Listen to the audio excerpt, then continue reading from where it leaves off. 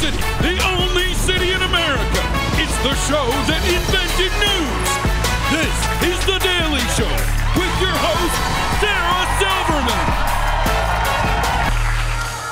right, let's get right to it. The big news. There was an election yesterday. Maybe you forgot about it. And apparently, so did some Republicans because Democrats got almost everything they wanted. Overnight, Democrats on a winning streak, scoring victories in Ohio, Kentucky, and Virginia. In deep red Kentucky, Trump backed candidate Republican Daniel Cameron tried to take down Democratic Governor Andy Beshear by linking him to Biden. But it didn't work. Thank you, Kentucky!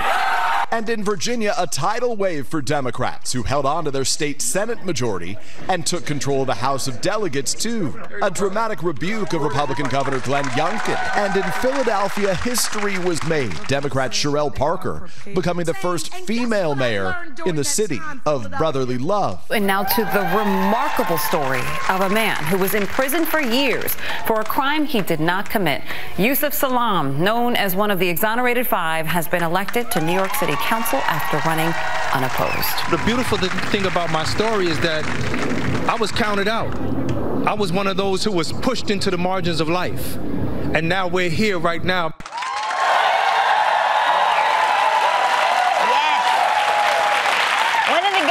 Was falsely accused of attacking a Central Park jogger and who Donald Trump said should get the death penalty is now a city councilman. He went from having his life threatened by Trump to being an elected representative. He's like a reverse Mike Pence. And to this man who has overcome so much and still has the selflessness and the strength of character to turn around and serve this city that falsely imprisoned him. I just want to say, when are you going to do something about the jackhammering? My taxes pay your salary, buddy. Fix the subways. But yeah, yeah, Democrats were the big winners last night, which means all those human sacrifices were worth it.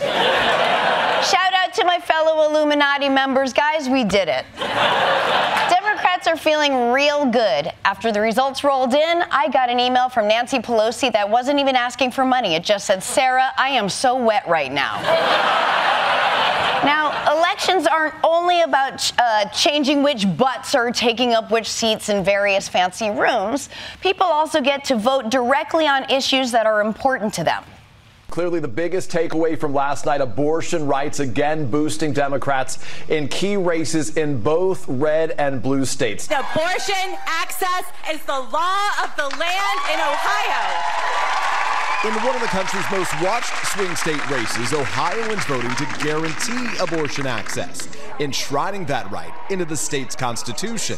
Ohio becoming the seventh state to vote to protect abortion rights since the Supreme Court's ruling last year overturning Roe v. Wade. You put very sexy things like abortion and marijuana on the ballot, and a lot of young people come out and vote. This is The Daily